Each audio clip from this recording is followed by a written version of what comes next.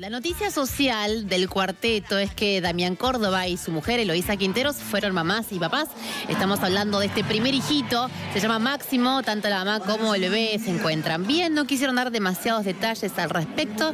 Lo cierto es que nació el viernes y el sábado Damián Córdoba ya estaba trabajando y frente a su público dijo esto.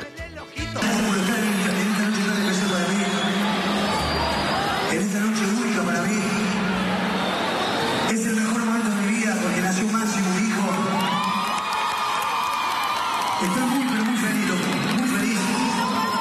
Este baile se lo quiero dedicar a mi hijo Máximo, a mi mujer, que son mi familia, que somos con toda mi alma. Gracias a ustedes,